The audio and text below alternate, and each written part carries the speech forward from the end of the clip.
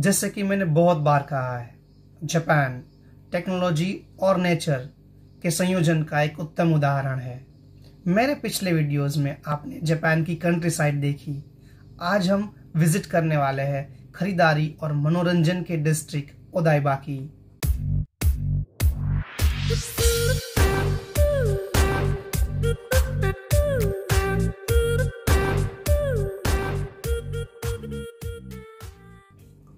ओदाइबा जिसे दाइबा भी कहा जाता है, ये जानकर आपको सरप्राइज़ होगा कि एक मैन मेड आइलैंड है।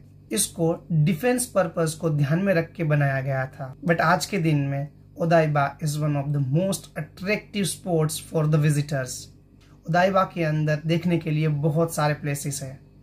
तो आज के इस वीडियो के अंदर, हम देखने वाले हैं टीम लेब बॉर्डरलेस जो कि एक डिजिटल आर्ट म्यूज़ियम है। ये कुछ इम्पोर्टेंट बातें हैं जो आपको जाननी ज़रूरी है। अगर आप टीम लेब बॉर्डरलेस विज़िट कर रहे हो नियरेस्ट स्टेशन जो है वो टोक्यो टेलीपोर्ट स्टेशन है। आपको आपकी टिकट्स एडवांस में बुक करवानी पड़ती है using official website of the digital art museum museum के अंदर कोई भी मैप नहीं है तो आप अपना होमवर्क अच्छी तरह से करके जाइए।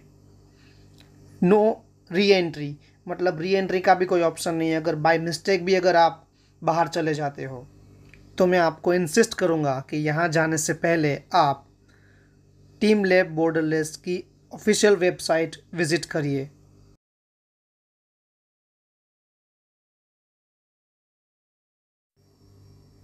Welcome to the crystal world this dazzling infinity room full of L and mirrors is the highlight of Team Lab it is tempting to spend a lot time here taking the perfect selfie.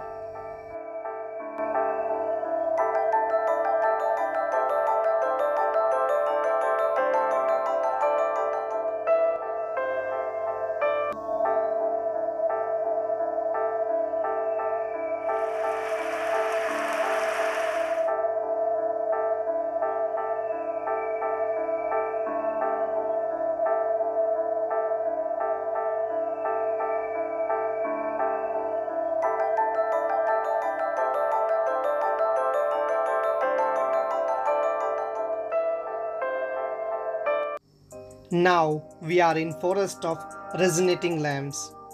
It's a toss-up which exhibit will be the most insta popular. These lamps. Up to 20 visitors will be allowed inside the bulb heavy room for about some minutes at a time. The light bulbs change color if you come near them. Hence resonating lamps. After a certain time period, the entire thing changes color scheme completely from a vivid red one to intense blue or vibrant yellow and pink.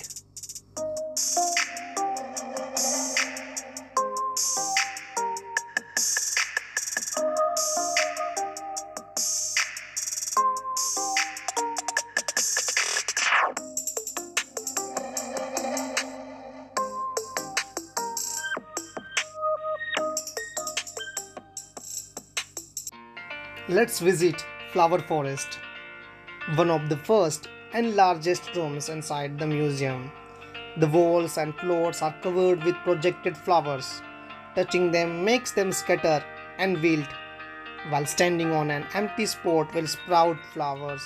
There are also butterflies flying around. Tap them and they will die. Such delicate creatures. Don't worry, though, plenty more will pop up somewhere else.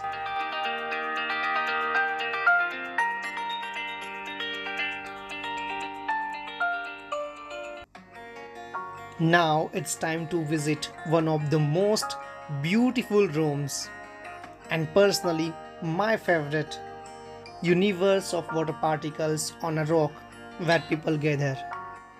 Many people consider it to be the most descriptive and visually impressive room.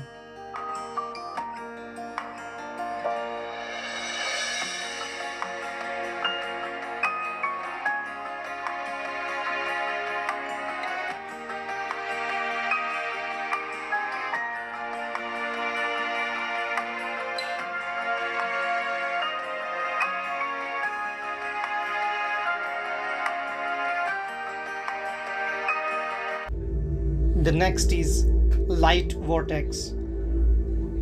The straight white beams of light move around in synchronized movements that change over time.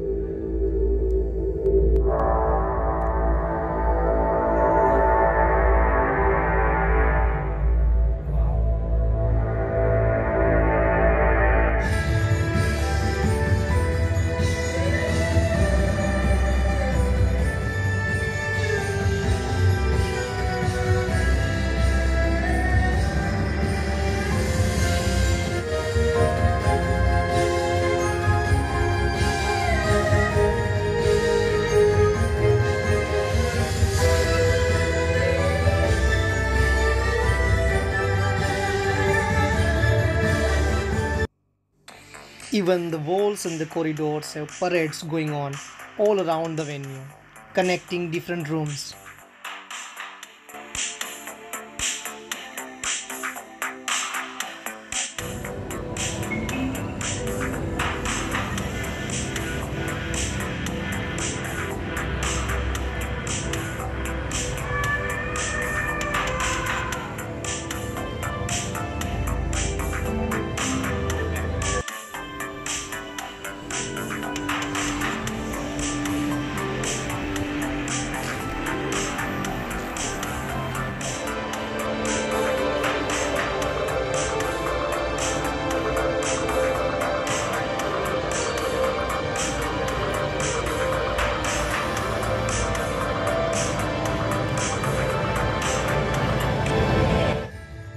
Video देखते देखते अगर आप यहाँ तक आ ही गए हो तो video को लाइक ज़रूर कर देना और कमेंट करके मुझे बताना कि आपको सबसे ज़्यादा कौन सा कमरा पसंद आया।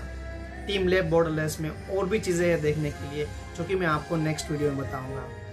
और अगर आप कैसे भी करके नए हो मेरे चैनल पर तो kindly subscribe my channel thank you आपको मैं मिलता हूँ मेरे नेक्स्ट वीडियो में।